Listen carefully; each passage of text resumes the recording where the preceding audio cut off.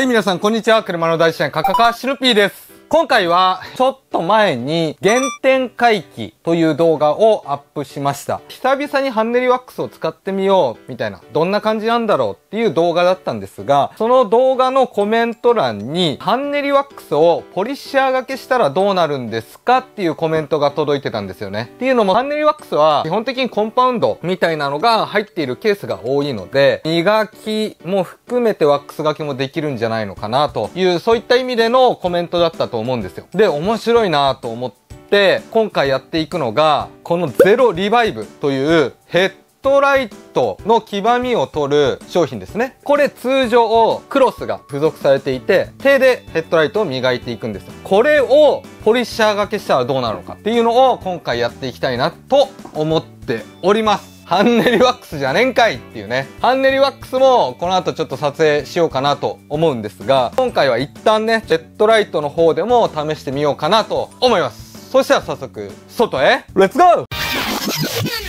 はい、そしたら外にやってきました。今回はこのプリウスで試してみようかなと思います。映像でも見てわかる通り、左の方が圧倒的に黄ばんでますね。で、右も若干黄ばんでるのと、あとくすみがあります。左と比べちゃうと右の方がちょっとクリアに見えるんですが、こっちもまあ汚いですね。そしたらまあこの車でテストするんですが、まずは右側、助手席側のヘッドライト、通常通りの使い方で軽く綺麗にしてみようと思います。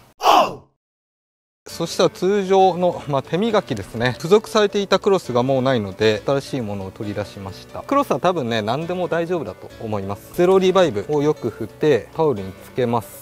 ゼロリバイブの特徴としては黄ばみを落とすような溶剤みたいのが入っているのとあとコンパウンドくすみを落とすコンパウンドですね。それとあとまあ UV カットとあとコーティング仕上げができるので普通のコンパウンドよりかはいいのかなと思っております。けどまあ通常手磨きですよね。もうこれだけで黄ばみが取ます。使い方としてはこれだけ。ほらすごいね。綺麗になったの分かります？ここ一部分ですね。綺麗になるんですよ。これはもう過去にやってるので綺麗になるのが分かるんですがもう手磨きだとやっぱどうしても大変ということで今回はポリッシャーを使っていきたいなといった感じですね。上側かなり綺麗になってますね。タオルはこんな感じです。いいところとしてはくすみと黄ばみ両方取れるっていうところですね。こんな感じでどんどん綺麗になっていくんですがもちろん僕の体力も削られていきます最初に比べたらね全然綺麗だね。まだいけそう。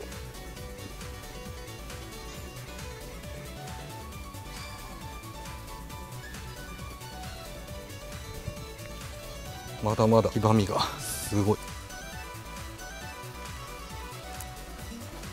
一旦こんな感じでセーブしておきますか。手磨きでもこんだけ綺麗になります。黄ばみがほぼなくなったと思います全然違うね。これだけでもいいって方はこれだけでもいいですしまだ若干くすみみたいのがあって手磨きでも頑張ろうと思えばまだ追い込めるのかなとは思うんですがちょっと疲れるので運転席側に同じくゼロリバイブ。手磨きではなくポリッシャーを使って磨いていこうかなと思います。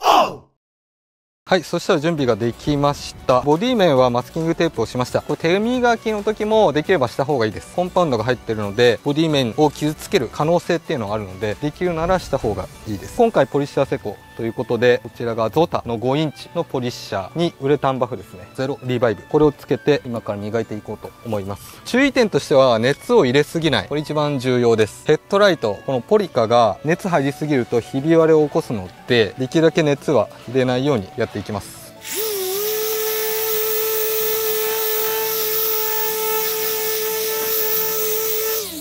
どう？綺麗になってるのか？軽く拭いてみます。ここだけ綺麗になってるね。使えそう。使えそうだけど意外に手の方が早いような気もしてきたぞ。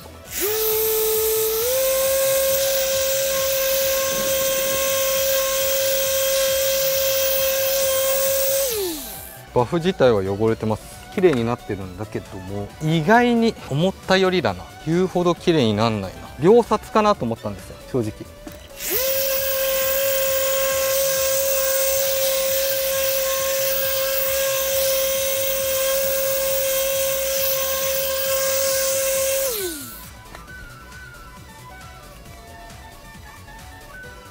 ちょっと全体的に磨いてみましたがどうでしょう。一回遠目から見てみたいね。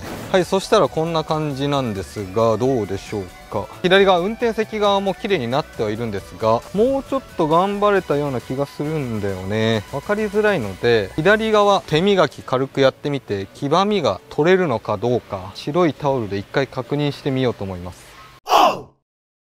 新しいタオルを用意しました。ここにゼロリバイブをつけてこすった時にどうなのか。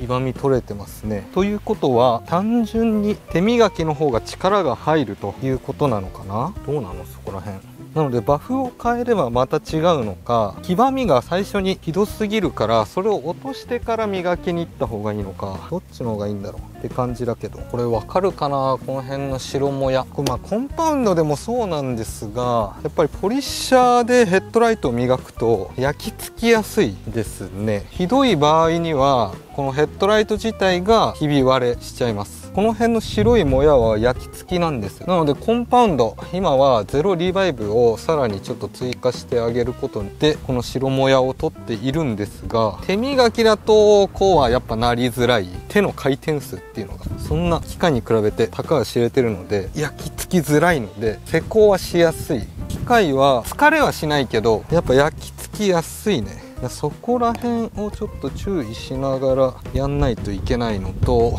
ゼロリバイブはやっぱり手磨き用として作られてるのかなっていう感じですね。ポリッシャー向きではないな僕は感じております。磨き終わりました。どうでしょう？個人的にはねあんま大差ないかなといった感じです。これだったら手磨きで十分かなっていう。変な焼き付きとかヘッドライト自体がひび割れるとかそういうリスクを考えるんだったらゼロリバイブ手磨きで十分綺麗になるのかな。それ以上リスクを冒す必要はないのかなと思いました。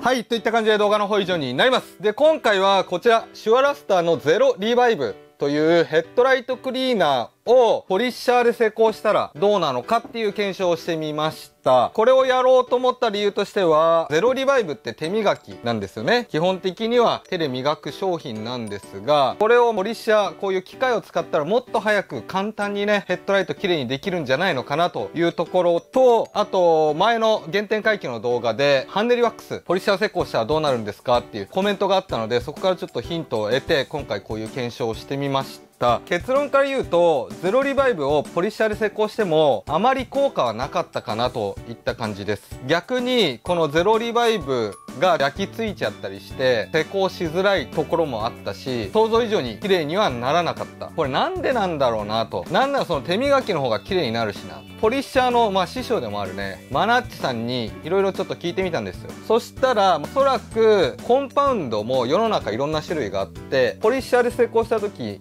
の、まあ、熱だったり回転に合わせて、まあ、粉砕していくように作られてるみたいなんですよね。けどこのゼロリバイブはあくまでも手磨き用なので結構普通のコンパウンドよりシャバシャバしてるんですよ。シャバシャバしてるようなコンパウンドは比較的ポリッシャーに向いていないとマナッチさんが言ってました。確かに色々考えた時に例えばソフト99のなんちゃら工房みたいなコンパウンド手磨き用のやつあるじゃないですか。あれもシャバシャバしてるんですよ。だから手で磨く時にはすごい効果出るけど回転が上がったり熱が上がったりすると効果をうまく発揮してくれくれない？まあほんと専用品なんだなって改めて思いました。なのでゼロリバイブはポリッシャー施工より手で磨いた方が全然いいです。焼き付くリスクとかもないしなんなら手の方が綺麗になるし簡単。でいちいちポリッシャーを買う必要もないのでゼロリバイブはね皆さん使う時手磨きで作業してみてください。まあこういうことをねまあいろいろやることによっていろいろわかることが出てくるので今回ね失敗に終わってしまったんですがとても面白い検証だったなと思います。引き続きねこういう皆さんがね疑問に思うようなことをどんどん検証していけたらいいのかなと思っております。とりあえず今回はこんな感じで動画の方以上になります。この動画が面白いなと思った方はぜひチャンネル登録と高評価